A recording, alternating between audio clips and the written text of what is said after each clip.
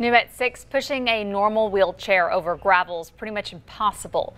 Thanks to two local organizations in Tupelo, veterans at Disabled American Veterans will have disabled parking spaces. The crews are working to designate those spaces for those who've been wounded fighting for our country. Service Officer Deming Moon says the people of Tupelo are so good to veterans. We're very thankful to these two organizations. Uh, the people of Tupelo are so good to veterans, and WTVA has been good to us too, to get us some publicity, and uh, we really appreciate it. Construction is expected to be finished sometime this week.